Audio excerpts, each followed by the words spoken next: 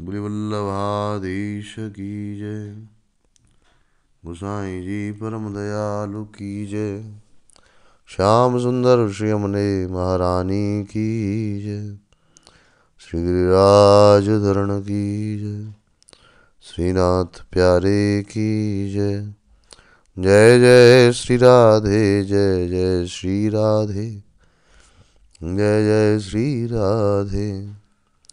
सब वैष्णवन को जय श्री कृष्ण आप श्रवण कर रहे हैं, दो सौ बावन वैष्णव वार्ता। आज दो सौ तेरहवा दिवस, भाग दो सौ तेरह। सो प्रारंभ कर रहे हैं वार्ता। अब श्री गुसाई जी को सेवक, एक गुलाबदास पूर्व को क्षत्रिय तिनकी वार्ता को भाव कहते हैं। जय श्री कृष्ण भाव प्रकाश। ये तामस भक्त लीला में इनको नाम श्रीदेवी है। सो आगे एक अदना गरीब की वार्ता में कहे आए हैं। ये सुगंध सुगंधराते प्रगटी हैं ताते उनके भाव रूप हैं। ये पूरब में एक द्रव्यमान क्षत्रिय के जन्म्यो सो बरस बीस को भयो तब यहाँ के माता पिता दो मरे। पाछे ये स्वतंत्र रहे, सो एक समय वह गाँव में दो चार वैष्णव आपस में भगवत चर्चा करत होते। तामे श्री गुसाई जी के प्रमेय बल पर बात निकसी तब उन वैष्णवन ने कही, जो भाई, श्री गुसाई जी, आप परम दयाल हैं। सो जीव को सर्वथा छोड़त नहीं। कैसो अधर्मी जीव हुए पर जो आपकी है ताकु श्री गुसाई आप सर्वथा उद्धार करते हैं, अपने प्रमेय बलते वा को अंगीकार करते हैं। ऐसे आप परम दयाल हैं। सो बात इन गुलाबदास ने सुनी, तब गुलाबदास ने उन वैष्णवों से कही, जो वैष्णव, श्री गुसाई जी ऐसे हैं, तब वैष्णव ने वा को दैवी जीव जान गयो जो हाँ श्री गुसाई जी ऐसे ही हैं।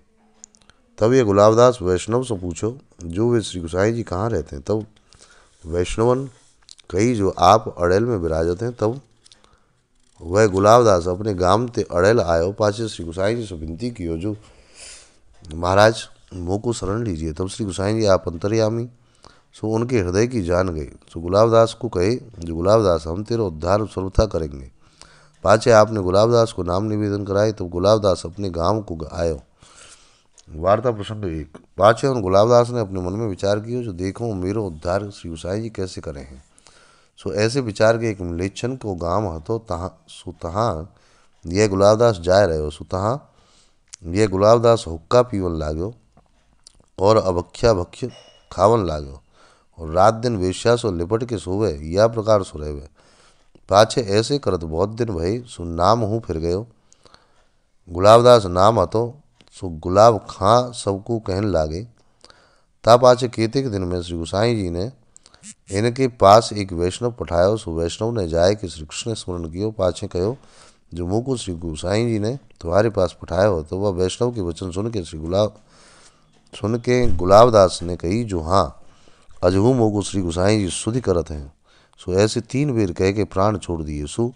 श्री गुसाई जी के चरणारविंद में प्राप्त हुए तभी वो वैष्णव अपने मन में पश्चाताप करने लागो पाछे वह श्री गुसाई जी के पास आयो, सो श्री गुसाई जी, श्री गोवर्धन नाथ जी के मंदिर में आते सो भोग के दर्शन खुले आते, सुबह वैष्णव ठाड़ो दर्शन करते तब यह वैष्णव ने वह वैष्णव को श्री कृष्ण स्मरण कियो, पाछे सब बात पूछी, सो उन सब कही, सो सब वार्ता एक अदना गरीब की वार्ता में आगे कहे आए हैं।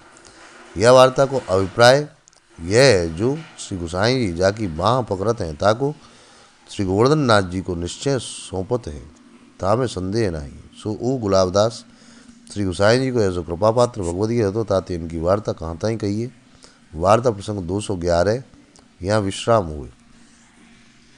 अब श्री गुसाई जी को सेवक एक चूड़ा तो सो श्री गोकुल में रहते तो इनकी वार्ता को भाव कहते।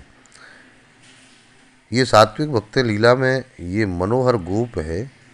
सो श्री नंदराय जी के अनुचर हैं, ये सुगंधराते प्रकटो है, ताते उनके भाव रूप है। सो यहाँ काऊ अपराध सुमावन में चूड़ा के जन्मो। वार्ता प्रसंग एक सो चूड़ा श्री गोकुल के निकट रहतो। गुसाई जी को सेवक हतो। श्री गुसाई जी आप उनको नाम सुनाए थे तादिन ते वह चूड़ा मन सो भावपूर्वक सेवा करतो। सो वहाँ कूड़ा कचरा रहन देतो नहीं और नित्य श्री गुसाई जी की बैठक के आगे बैठो रहतो। और जो को वैष्णव पात्र पतुआ डाल देतो तो तुरंत ही उठाए लेतो। सो श्री गुसाई जी नित्य श्री यमुना जी स्नान को पधारते। तो मार्ग में सब ठोर झारत झाड़ डालतो और श्री ठाकुर जी के बाग में झारत तो श्री गुसाई जी के कहे बिना झाड़ तो और अपने मन में विचार कर तो जो या गैल श्री गुसाई जी पधारेंगे, जो मती कहूँ, चरण नीचे कूड़ो आवे।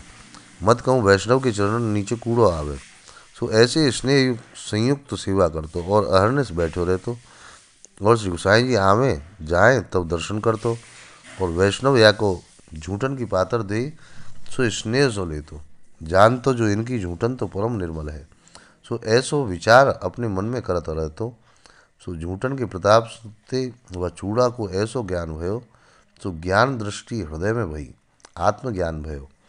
भाव प्रकाश यहाँ में वैष्णवन की झूठन महाप्रसाद को स्वरूप कहे। जो वैष्णव की झूठन लिए तो हृदय के नेत्र खुलत हैं, सो वैष्णव को महाप्रसाद लेवाए के, ले यह झूठन जान लो। वार्ता प्रसंग दो। सो एक समय काशी के पंडित भेले हो के श्री गोकुल आए हते। सुश्री गुसाई जी सो बात करन आए हते।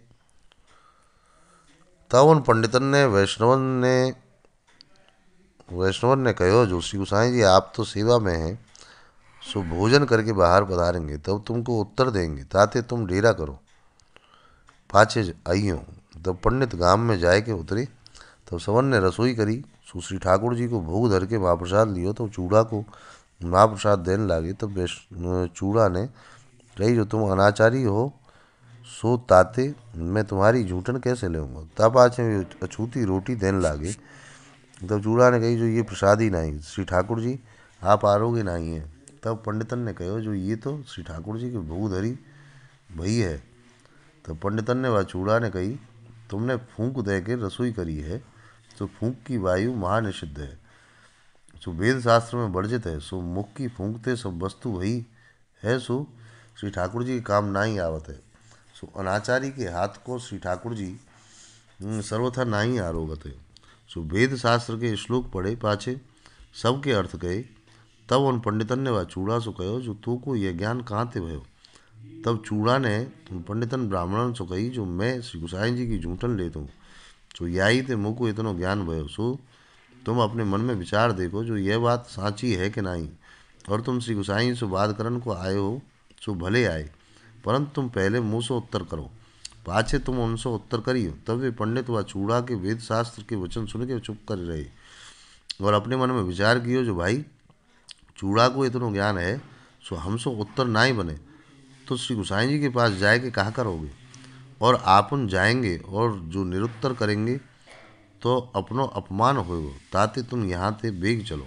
तो ऐसो मन में विचार के पंडित ब्राह्मण वहाँ थे, उठ चले। सुश्री मथुरा जी आए, सो ये बात काऊ वैष्णव ने श्री गुसाई के आगे कही।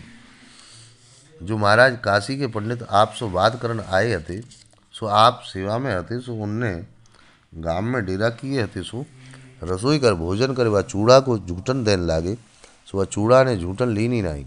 सो चूड़ा ने उनसो वाद करो सो वेद शास्त्र रीत सो कही, ताको उत्तर कर न सके, तब श्री गुसाई जी ने उन वैष्णव से कही, जो तुम वह चूड़ा को बुलाओ, तब वह चूड़ा ने आए के सब बात विधिपूर्वक कही, सो आप मुस्क्याए।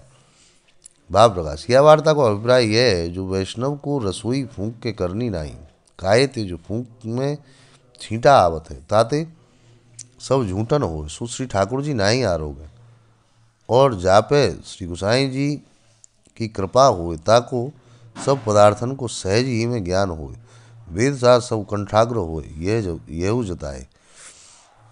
सो वह चूड़ा, श्री गुसाई जी को ऐसो कृपा पात्र भगवदीय तो ताते इनकी वार्ता को पार नहीं, सो कहाँ ही कहिए? यहाँ वार्ता प्रसंग 212 विश्राम हुए है, और आज की वार्ता को यहीं विश्राम करें हैं। यहाँ से आगे की वार्ता आप कल सब श्रवण करेंगे। सो सब वैष्णव को जय श्री राधे जय श्री कृष्णा।